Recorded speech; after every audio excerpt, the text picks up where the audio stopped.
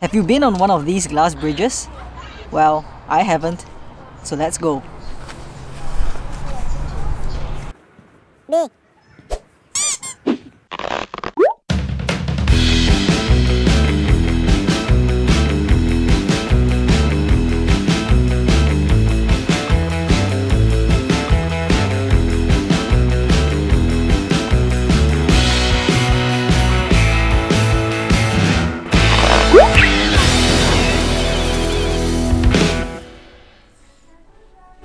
Guys, that was such a long bus ride, but we have finally made it.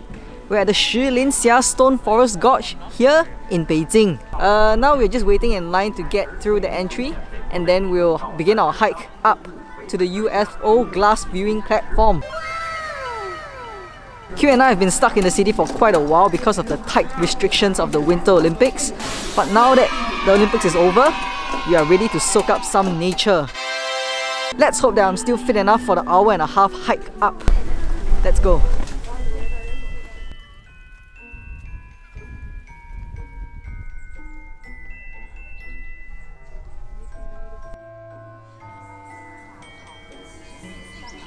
Can we take the cable car?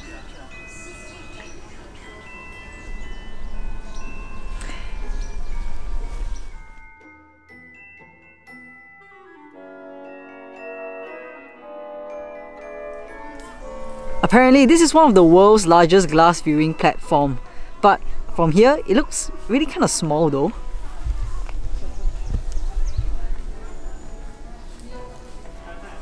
But anyway, it claims to cantilever 33 meters out from the mountain mountainside, which makes it one of the largest cantilever structure in the world.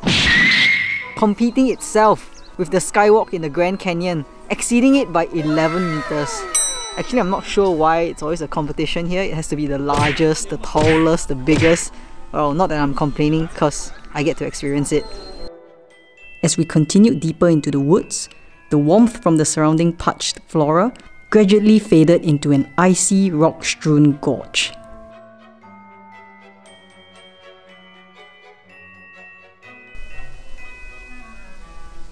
Because we only just passed winter, it's still very cold in this suburb.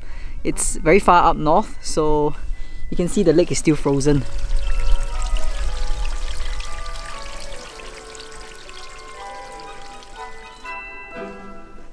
Meandering alongside a semi-frozen stream, the last thing we'd expect was to find ourselves in the desert canyons. Wow, is this like natural? Probably not. It looks like a boulder gym. Rock climbers will go crazy about this. Look at the contours. Amazing.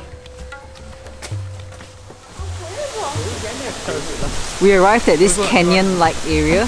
They have this artificial waterfall here, but it looks amazing, really. We're about half an hour into the hike and I'm already running low on battery. But take a look at that shit.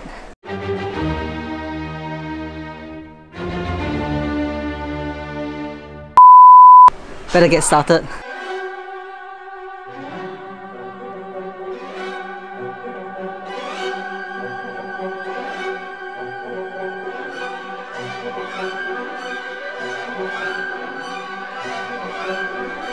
What the heck? It's never ending.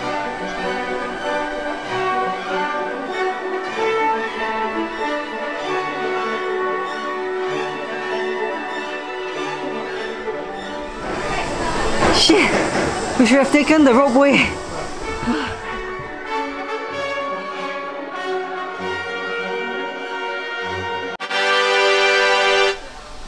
Ah, okay, we've made it past the tiring stairs, but there's still more to go before we reach the top. Honestly, the dry landscape reminds me of the Australian landscape. It really looks similar. Look at that. I'm not joking, right? It's true. Oh, we've made it to the top of the artificial waterfall.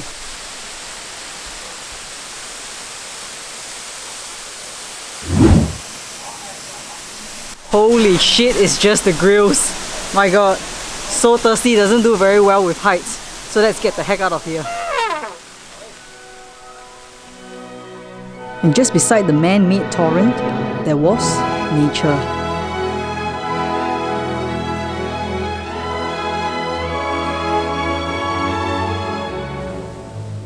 God, guys! There's a travertine pool here! And there behind me is the seven coloured pool. Because of the calcium carbonate deposits in the water, there are different shades of green. And due to the terracing, all the different pools have different shades of green, which is quite amazing. It kind of reminds me of the Lake Pamukkale in Turkey, or Pamukkake.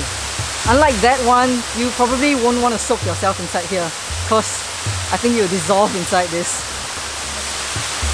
Is it just me, or does this not remind you of the scene in Black Panther where the Battle of the Crown takes place?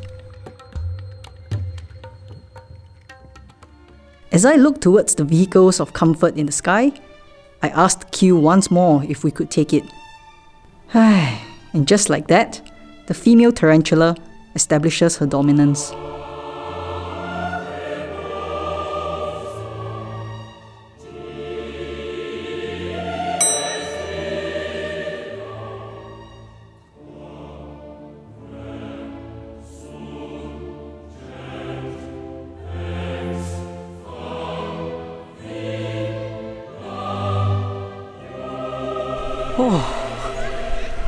It's probably too bright for you. You can't see it because of the glare, but that's a beautiful lake there. But anyway, we are almost up there to the glass viewing platform. Uh, somehow China has this dual entry fee payment system. It's sort of like you have to pay an initial amount to enter the park and then all the attractions inside have a separate payment. Huh? Like you have to pay a second time. It's like imagine you go to Disneyland, you have to pay for the entrance fee, and then to take the ride, you have to pay for an additional fee again. It's sort of unique and ridiculous at the same time. So, on top of the $68, sorry, 68 yuan that we have to pay to enter this park, we have to pay 40, 40 yuan what? again to enter the glass bridge. But thankfully, because today is Women's Day here in China, we don't have to pay for the uh, entrance fee. So, but check out this video.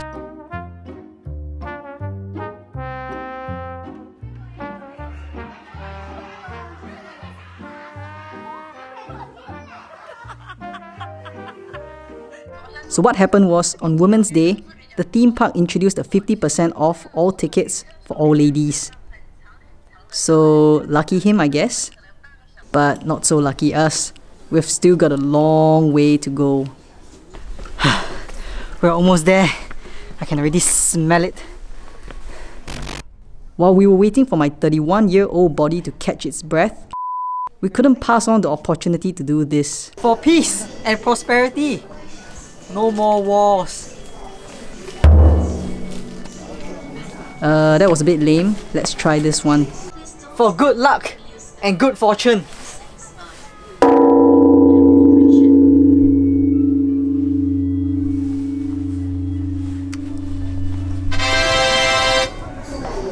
That was really brutal, man.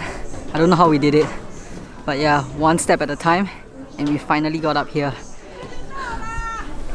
Uh, honestly, I was expecting a lot more people today because it's free entry, but looks like no, we are the only cheap people around. Also, I thought. But anyway, let's accomplish what we came here for.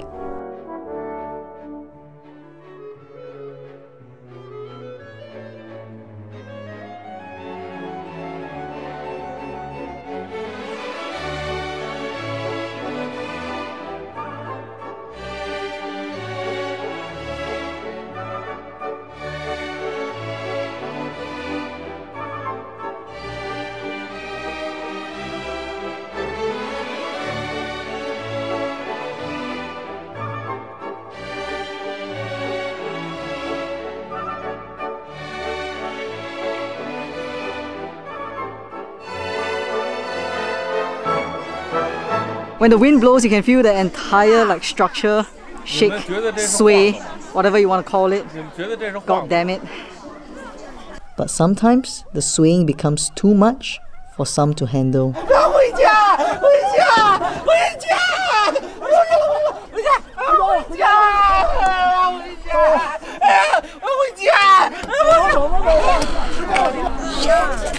I'm literally holding on for dear life.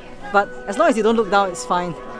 And the view, it's spectacular. I mean, look at the mountains and hills. It almost looks like a painting. So pretty.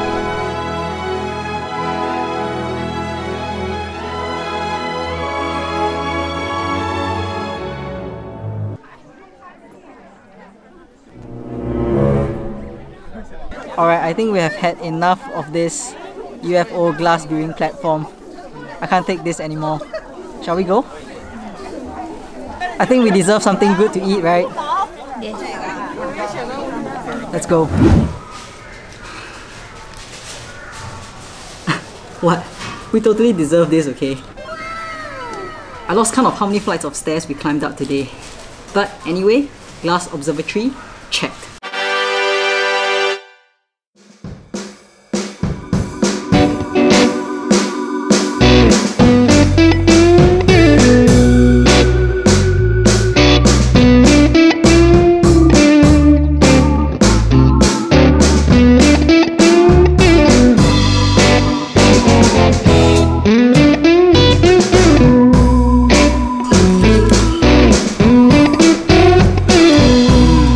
That's it for today. Many thanks for joining us. I hope that you have enjoyed this video. Don't forget to subscribe and stay so thirsty.